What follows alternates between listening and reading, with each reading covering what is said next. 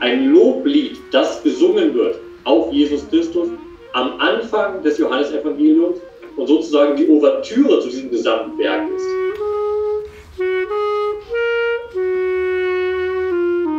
Das Wort ist also quasi die Schöpfungsmacht Gottes. Das Wort ist diese Schöpfungsqualität, durch die alles ins Dasein kommt, die Wirkmacht des Wortes.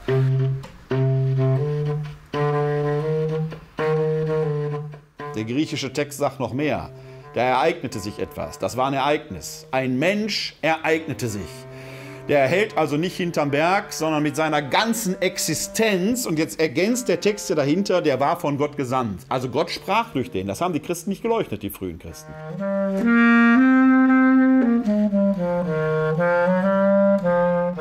Da steht ein christliches Bekenntnis hinter, ne? Jesus schafft eben, dass Jesus dieses eine Licht ist. Genau. Nicht Johannes der Täufer. Und das wird jetzt aus christlicher Sicht, also aus äh, der frühchristlichen Gemeinde, wird das genau definiert. Nicht Johannes war es, Christus war es.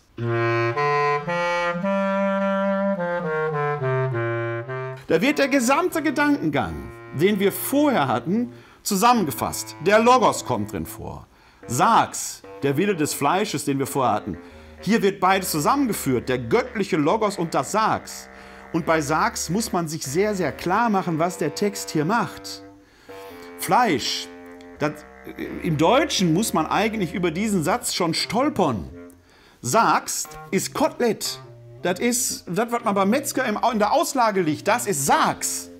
Das ist nicht irgendwie vergeistigbar, das ist blanke Materie.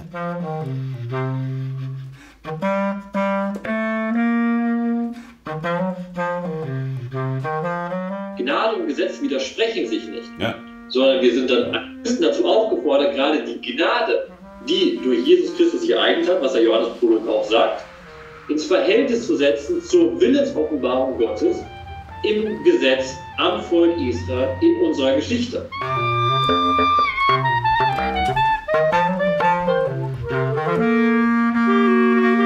Es geht darum, dass sich in dem Leben von Jesus Christus Gott mitgeteilt hat. Das ist ja auch deshalb Genau. auch dieser, das Wort, was am Anfang betont wird.